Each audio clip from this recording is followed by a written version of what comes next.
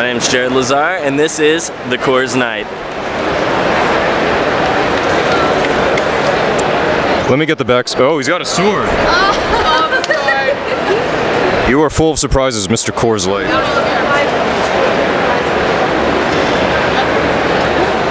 This, as much as I don't want to admit, took about 30 hours. This is actually, um, since I'm a huge Iron Man geek, uh, this is the Mark II.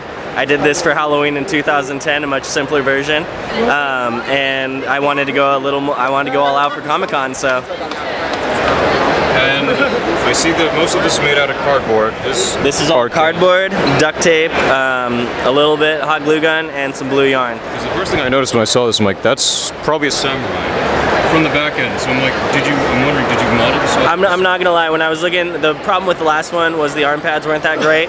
Um, so I uh, was checking out some Mortal Kombat characters for some inspiration, and definitely saw Shokan, and I was like, ah, Shao Kahn. yeah. I did a terrible rendition of Cloud of Final Fantasy VII. Um, gosh, uh, Comic Con 2007. So, but this is this is definitely the um, first time it's been uh, this uh, openly excited. I have two last questions. How did you get shoes like that?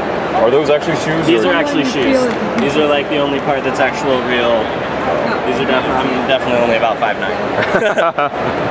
So you just took shoes and covered them up. Yeah. and that's pretty neat.